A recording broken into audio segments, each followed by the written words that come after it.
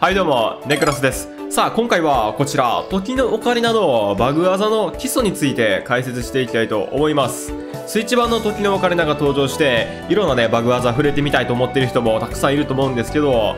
まずバグ技の前に基礎を覚えておかないと、ほとんどのバグ技は失敗します。これは、まあ、スポーツにもおいてもそうやし、もう何に関しても、まあ、基礎ができていないと、当然ながらそれの応用技である、えーバグ技は成功しません。なので、基礎をしっかり押さえる必要があるんですけど、実は、バグ技においての基礎というのは、なんと3項目しかなくて、1つが角度調整、もう1つが位置調整、最後にタイミング調整。この3つが必要になっていて、角度調整、位置調整、タイミング調整のやり方はこんな感じになっています。角度、位置、タイミング、実はね、えー長々と書いてるんですけど、そんなに、えー難しいことは書いていません。なので、しっかり角度、位置、タイミング、それぞれね、えー完璧にこなせるようになれば、ほとんどのバグ技は成功するようになります。それでは行ってみましょう。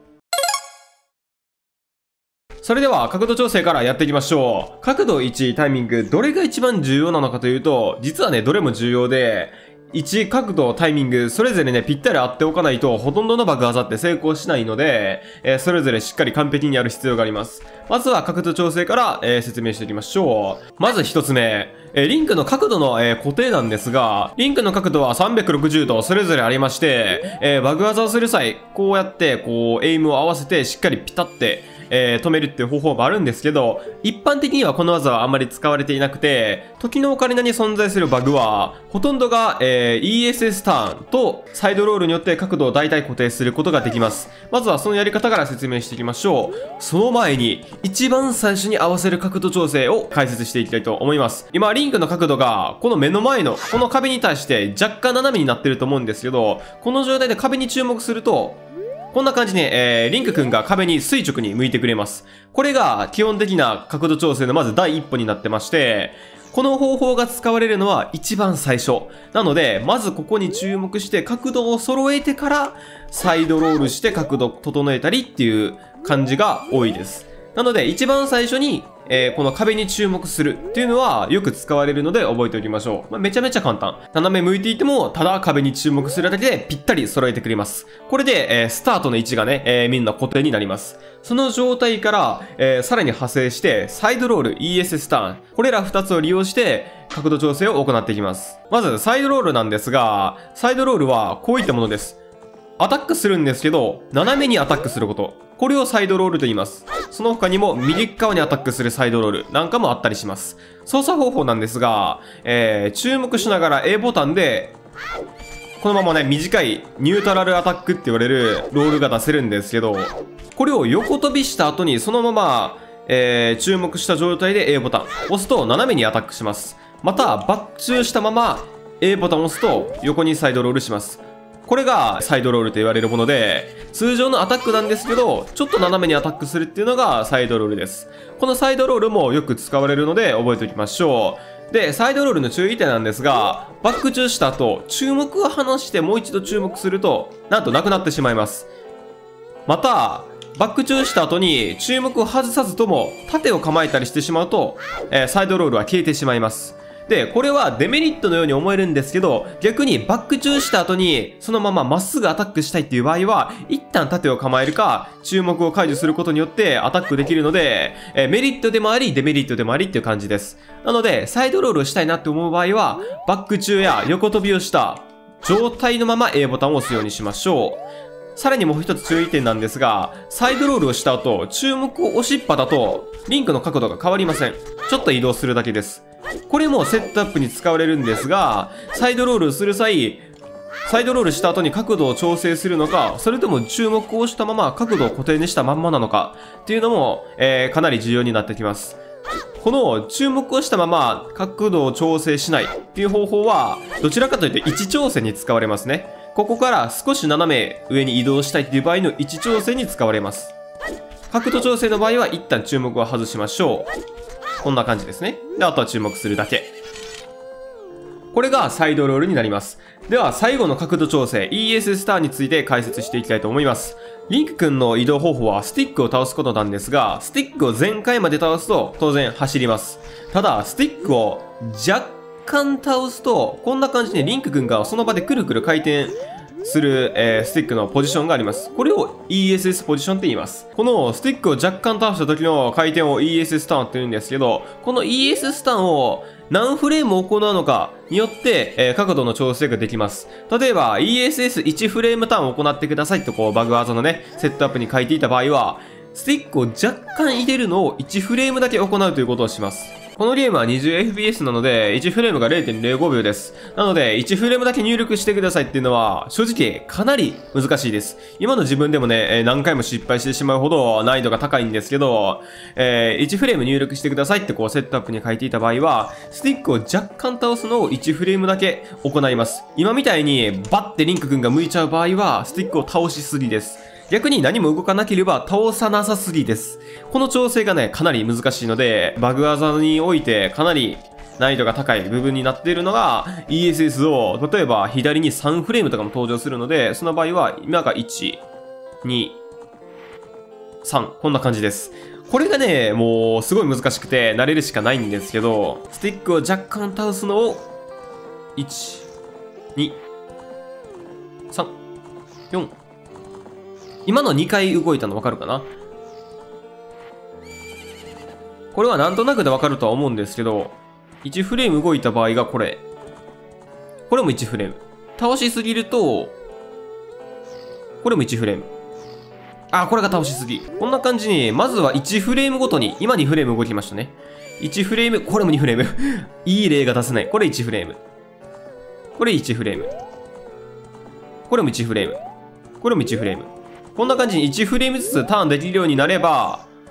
大丈夫です。中にはセットアップでサイドロールした後に右 ESS3 フレームターンの、えーセットアップがある場合とかもあります。そういう場合はもう一気にね、こうガーって倒して、今ので3フレーム動いたのかなしてもいいんですけど、まあこれはちょっとかなり上級者向けなので、基本的には1フレームを3回っ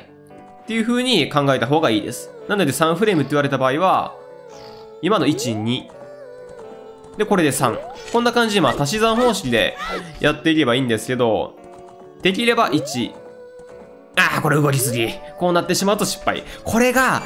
もう本当に難しいです。とにかく練習しましょう。スティックを若干入れるのを、ちょこっと、ちょこっと、ちょこっと。こんな感じ、こんな感じ。1フレーム。1フレーム、1フレーム。1フレーム。1フレーム。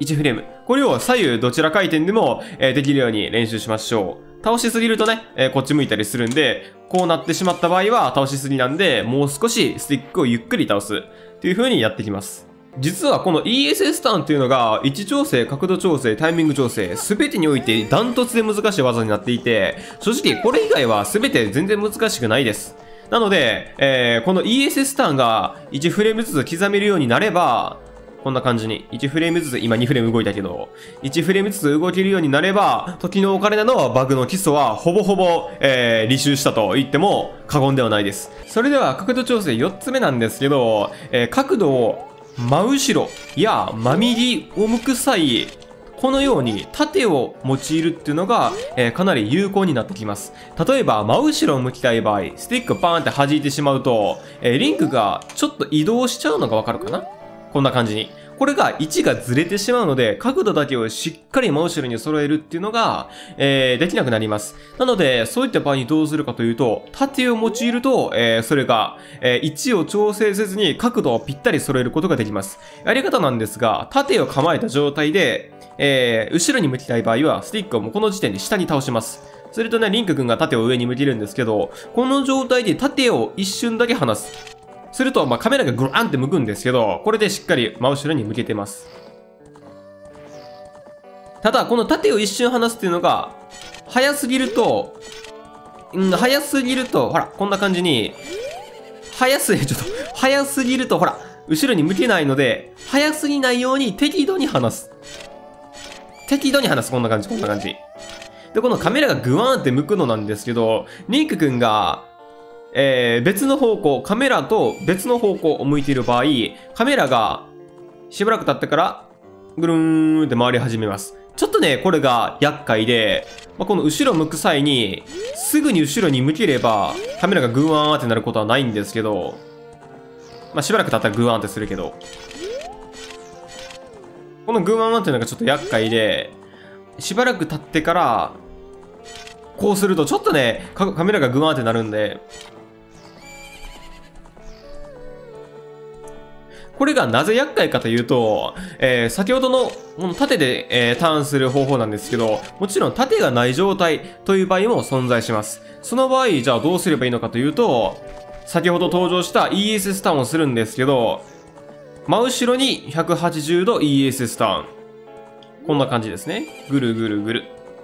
で、ただ、これが、えさっきのカメラグワーンがすごい厄介で、えー、今何も操作していないんですけど、今、スティックを ESS ポジションに倒すと、カメラが一緒にグワングワン回ります。これじゃあ180度後ろに向くってことがもう不可能になります。そしてこのカメラのグワーンが始まる条件なんですけど、これが、えっと、注目を離してから数秒後、カメラがまあちょっとカクンって遠のいてるのはわかるかな？えー、このカクンって遠のいた時間、えー、がもうカメラがグワンが始まってます。なので ESS 倒すと一緒にカメラもくるくるしちゃうんですけど、ESS180 度ターンしたいときは、注目を離してからすぐに180度。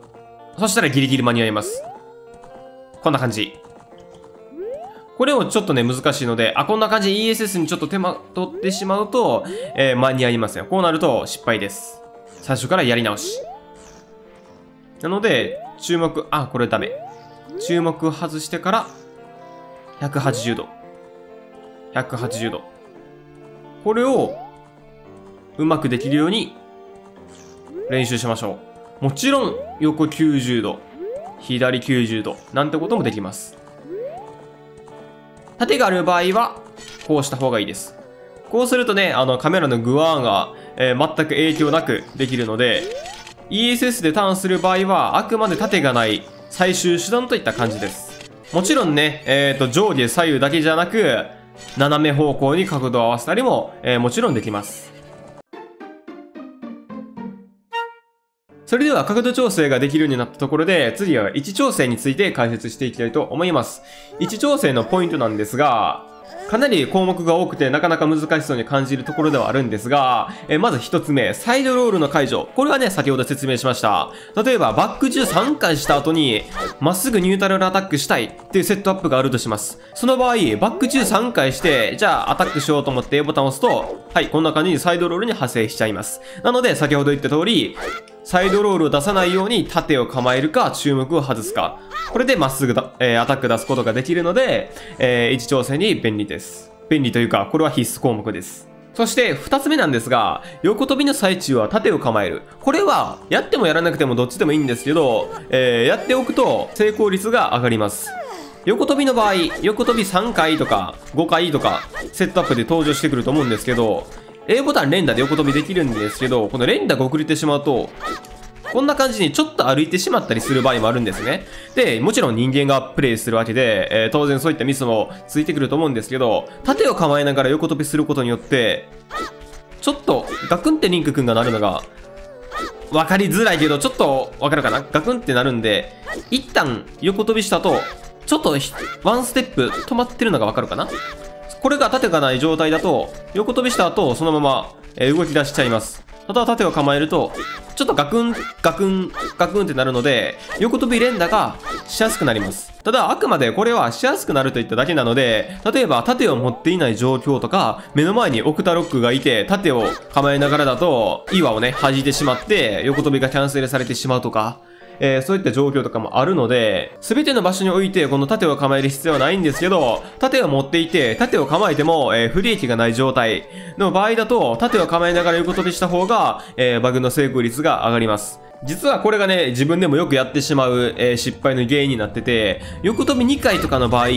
自分の中ではね、横跳び2回連続出したつもりなんですけど、実は横跳びの後に少し動いてから横跳びしてしまっているとか、もう目では見えないぐらいちょっとだけ位置がずれてしまっているとか、えー、そういったことも自分よくあります。なので、えー、縦を構えれる状況の場合は、しっかり縦構えて、えー、横跳びを1、2と出せるように、えー、練習しておきましょう。これは、練習もクソもないね。それでは3つ目、盾を構えて後退を防ぐ。これどういうことかというと、まずジャンプ切りをね、見てもらったらわかると思うんですが、えー、ジャンプ切りした後、うにょって戻るのわかるかな？一歩下がります。ただ、盾を構えておくと、下がりません。で、セットアップにおいては、えー、縦切りを何回とか、ジャンプ切りを何回とか、えー、そういったセットアップも当然出てきます。その際に重要になってくるのが、そのセットアップで盾を構えるのか構えないのかっていうのが重要になってきていて、この後ろに下がるのも込み込みのセットアップも登場します。ただ、基本的にはジャンプ切りの後は縦を構えて、えー、位置を固定する。っていうのが基礎になってきます。これはジャンプ切りではなく、縦切りや横切りでも同様で、縦切りの後も、縦を構えているのと構えていないのでは、少し位置が変わります。B の後に縦、B の後に縦。剣を振ってる最中に R ボタン長押しで大丈夫です。盾を構えるのか、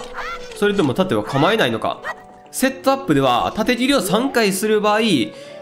回目、2回目は盾を構えず、3回目に盾を構えるとかいうセットアップも闇の神殿とかで登場したりもします。なので、剣を使うセットアップの場合、盾を構えるのか構えていないのか、どちらでもいいっていう場合は存在しません。しっかり剣を振った後、盾を構えているのか、こんな感じに盾を構えるのか、それでも盾を構えずに交代も含めてセットアップになっているのか、っていうのはしっかり確認しておきましょう。これは見よう見まねで大丈夫です。剣を振ってる最中に R ボタンで盾を構える。ただただこんだけ。それでは、位置調整、角度調整が終わりました。これでもうほとんどができています。それでは最後のタイミング調整。えー、タイミングというのもバグアーズにおいてかなり重要になってきて、特定のタイミングでジャンプ切りを出すとか、特定のタイミングで爆弾を置くとか、特定のタイミングでアタックするとか、という風にタイミングというのはものすごい重要な、えー、要素になってきています。ここで、えー、タイミングをしっかり測る要素として、もう最強なのがただ一つ、えー、ポーズバッファですね。ポーズをこのようにね、今1フレームだけ動いたのがわかるかな？まあ、スイッチ版のポーズバッファはかなり難しいんですけど、ポーズを刻むことによって1フレームずつ、えー、刻むことができるので、今1フレーム、リンクが動きました。このような感じに、こう、ポーズをうまいこと開閉開閉していって、1フレームずつゲームを進めていって、そしてこのポーズバッファなんですけど、このポーズがってれん？って言って終わってる最中にボタンを長押ししておくと、えー、そのポーズが終わったフレームで、えー、最速でそのボタンが反応してくれます。どういうことかというと、今 C 右に手乗りごっこを装備してるんですけど、ポーズが、テレレンって言って帰っていく最中に C 右を長押ししておくと、このように最速で手乗りごっこ出してくれます。これが先行入力と言われるブルーになってまして、特定のフレームでジャンプ切りしたいなとかいう場合は、ポーズを刻んでいって、そのフレームをたまたま引くことができました。その場合に、えー、ポーズが終わってる最中に B ボタン。すると剣を振ってくれたりします。なので、えー、ポーズで1フレームずつ刻んでいって、えー、特定のフレームまで送ることができれば、ジャンプ切りなりアイテムなり、何なり使っていくといった感じになっています。で、このポーズバッファなんですが、なんとこのポーズバッファは、先行入力が効くっていうのはすごいメリットではあるんですけど、逆に次のポーズの先行入力まで効いてしまうので、ちょっとよくわからないとは思うんですけど、つまりどういうことかというと、ポーズボタン連打してると永遠に進みません。連打ではダメです。なぜかというと、ポーズを解除している最中にポーズボタンを押すことによって、えー、ポーズの先行入力かなと聞いてしまうので、連打しているだけでは一向にゲーム画面が進みません。なので、ポーズ解除して、いいタイミングでさらにポーズを押さないといけない。目押しが必要になってきますので、慣れれば意外とこれできるようになります。タイミングっていうのはもう一定なので、ポーズをして解除した後にまたポーズっていうのはタイミングも一定なので、意外と練習していれば1フレームずつ刻むことが容易にできるようになってきます。以上が時のオカレナの、えー、バグ技の基礎になります。えー、まずは位置を調整する。そして角度を調整する。まあ、位置と角度はどちらか先でもいいんですけど、位置と角度調整して、そしてタイミングよくボタンを入力する。これらを3つを完璧に揃えておけば、ほとんどのバグ技が成功します。まあ一部ね、えー、ステレリファレンスマニピュレーションとか、えー、ゲットアイテムマニピュレーションとか、手順を間違えてしまうとフリーズしたり失敗したりする技も結構あるので、そういった場合はまたね、別の注意しなければならない点とかもあるんですけど、基本的に壁を抜けたり、ダンジョンブレイクしたり、本来登れない場所に登ろうとしたりとか、そういったシーケンスブレイクぐらいならば、えー、この3原則、位置、角度、タイミングをしっかり揃えていれば、ほとんどの技は成功します。例えば、えー、コキリの森の脱出とか、時の扉抜けとか、あとはそれぞれダンジョンのね、ダンジョンブレイク、全てが、この位置、角度、タイミング、この3原則をしっかり押さえていれば、もうほとんど成功します。なので、これからいろんな爆技の動画を紹介していくんですけど、まずはこちらの3原則の知識っていうのをしっかり覚えた状態で、さらに ESS ターン、そしてサイドロール、ポーズバッファー、これら3つは時のオカレナの専門用語になってますので、まあ、ポーズバッファーはね、専門用語ではない気もするけど、特にサイドロールと ESS ターン、これはかなり出てきます。なので、この専門用語というのはしっかり覚えておきましょう。以上、ネクオ先生からの時岡 RTA 基礎講座でした。バイバイ。